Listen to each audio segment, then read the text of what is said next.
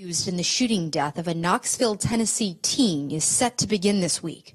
William Riley Gaul, a former Maryville College football player, allegedly stalked and killed 16 year old Emma Walker, a high school cheerleader, in November 2016.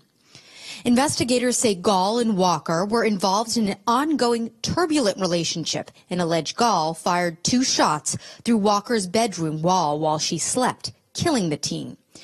Gaul was arrested in connection with the killing after he tried to recruit a friend to help him discard of the murder weapon, but that friend went to authorities, according to police. Gaul is charged with seven counts, including first degree murder and felony murder.